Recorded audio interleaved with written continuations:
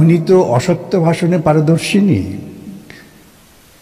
দু হাজার এগারোর পর থেকে সিপিআইএমের অফিস যতগুলো দখল হয়েছে, যতগুলো পুরানো হয়েছে, কলকাতা শহরের বুকে যতগুলো অফিস তৃণমূলীরা দখল করেছেন ঘর বাড়ি জ্বালিয়ে দিয়েছেন, ঘরে বাড়িতে থাকতে গেলে গ্রামের ছেলেদের উপর জরিমানা আরোপ করেছেন। সুশান্ত থেকে শুরু করে বহু নেতাকে অন্যায়ভাবে মিথ্যে মামলা দিনের পর দিন জেল খাটিয়েছেন। এরপরে বলছেন বদলা নেননি?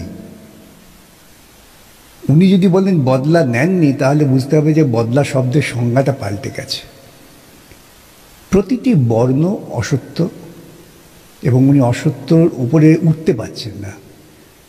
নিজে সবসময় নিজের কাঁদুনি গাইছেন, তার জীবনের নিরাপত্তা ইত্যাদি বলে ভয় পাচ্ছেন, মানুষের রোষের। তাই এমন নির্দেশও জারি করে দিয়েছেন যে ওর বাড়ির আশেপাশে কেউ উঁচু বাড়ি করতে পারবে না। আতঙ্কে ভুগছেন ভদ্রমহিলা। অপরাধীর মনে যে আতঙ্ক থাকে না যেন অপরাধী দেখবেন রাত্রিবার টুক করে বলে এই পুলিশ আসছে বলে ভয়। উনি সেই ভয়ে আছেন। আবারও সেই পুজো মণ্ডপে শোনা গেল বিকাশ রঞ্জন ভট্টাচার্যের বার্থ সার্টিফিকেট নিয়ে। বারবার আপনি একই কথা বলে যাচ্ছেন। আমরাও আপনাকে একই প্রশ্ন করতে করতে ক্লান্ত হয়ে পড়ছি। আমাদের পাড়ায় না একটা ছেলেবেলায় কালীঘাটে একটা পাগল ছিল তার নাম ছিল হীরামণি। হীরামতি।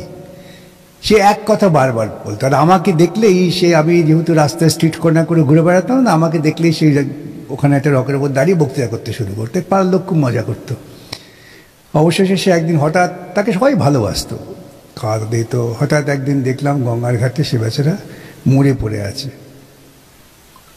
পাগলরা এইরকম করে। একই কথা বারবার বলে সৎ সাহস যদি থাকতো বার করে দিতেন। আমি তো ভয় পাচ্ছি না। আমি তো বলছি যে বার্থ সার্টিফিকেট সংক্রান্ত সব ফাইল তো উনি বলছেন ওর কাছে আছে।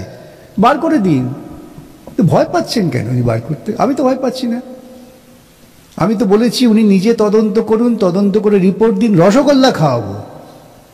আসলে উনি রসগোল্লায় সন্তুষ্ট নন। যদি বলতেন যে কয়েক কোটি টাকা দেবো, তাহলে হয়তো চেষ্টা করতেন।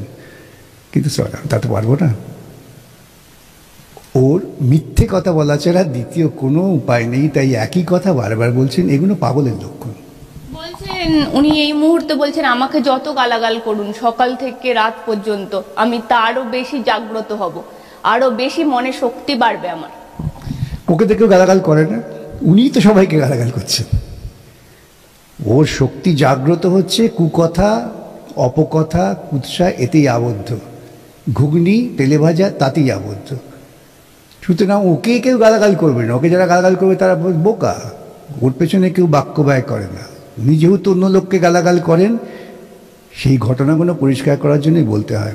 বার্থ সার্টিফিকেটের কথা উনিই বলছেন, আমরা তো বলিনি। উনিই বারবার বলছেন। আমরা কখনো বলিনি, আমরা প্রত্যুত্তর দিয়েছি।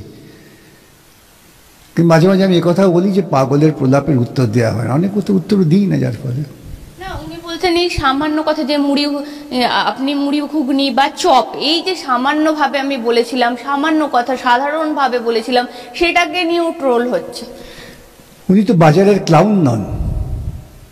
উনি ঘটনাচক্রের পশ্চিমবঙ্গের মুখ্যমন্ত্রী।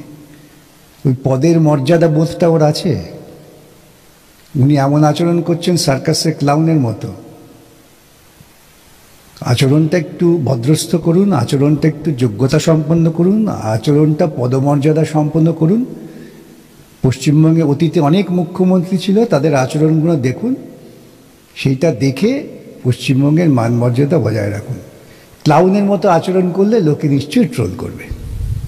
দিল্লিতে গিয়েও নাকি বাংলার অপমান হচ্ছে, বাংলায় সেখানে মেলাইন করার চেষ্টা করা হচ্ছে, তার তিনি বলছেন, এই রকম ভাবে করলে, বাংলার অপমান করলে, আপনারা বাংলা নিয়ে ভালো কথা, দু এক কথা বলতে পারেন না, এত কিছু হয়। আপনাদের মনে আছে যখন এই রাজ্যে বাম সরকার ছিল, তখন উনি কি করেছিলেন? দিল্লি থেকে তদবির করেছিলেন? তিনি কেন্দ্রের মন্ত্রী ছিলেন তো? বাজপেয়ীর সঙ্গে বাজপেয়ীকে এখানে মালপোয়া খাইয়েছিলেন। প্রধানমন্ত্রীকে বলেছিলেন, বন্যা দুর্গতদের জন্য টাকা বাম সরকারকে দেবেন না। পিএম টু ডিএম সে ওর তত্ত্ব, আমাদের তত্ত্ব না। এখন ওর তত্ত্ব যখন নাকি লোকে প্রয়োগ করছেন কেউ কেউ, তখন উনি ভয় পাচ্ছেন। আয়নায় নিজের মুখ দেখে বুঝতে পারছেন, এটা কার চেহারা দেখছি? ওর পরিণতি হয়েছে। পশ্চিমবঙ্গকে গোটা ভারতবর্ষের কাছে উনি একেবারে মাটিতে নামিয়ে দিয়েছেন। দুর্নীতি, অসত্য ভাষণ ক্লাউনিস বিহেভিয়ার ক্লাউনের মতো আচরণ, অন্যান্য রাজ্যের লোকেরা আমাদের বলেন, তোমাদের মুখ্যমন্ত্রীকে টেলিভিশনে দেখলে মনে হয় সার্কাস ক্লাউন এই করছেন না ক্লাউনের মতো আচরণ ঢাক বেড়াতে চলে গেলেন। বুঝলাম যে ঢাক বেড়াতে জানেন তাও না। তো নাচতে শুরু করলে নাকি লোকে কি করবে? তো ক্লাউনিশ বিহেভিয়ার তবু পশ্চিমবঙ্গের মানুষ ট্রোল করছে অন্য কোনো রাজ্যে বললে যে কী করে ফেলতে উনি জানেন না। একটু ভদ্র সভ্য আচরণ করুন ভালো হবে।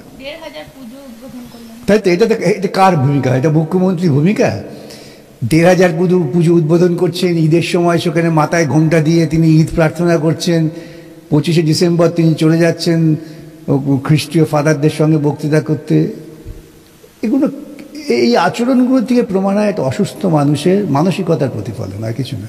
তিনি কিন্তু চণ্ডীপাঠ মন্ত্র উচ্চারণ পারেন। তিনি বলছেন এটাকে নিয়েও কথা শ্রীকুমার দার জন্য একটু গন্ডগোল হয়ে গেছিল। কারণ তিনি মন্ত্রের লাইনগুলো প্রথম প্রথম প্রথমেই বলে দিচ্ছিলেন। সেজন্য একটু গুলিয়ে গেছে। ওটা তো আমরা কেউ কিছু বলিনি। মন্ত্রকে পড়তে কে বলেছিল? মন্ত্র থেকে বামপন্থীরা অনুরোধ করেনি? এখন যদি শ্রীকুমার বাবুকে দেখলে তার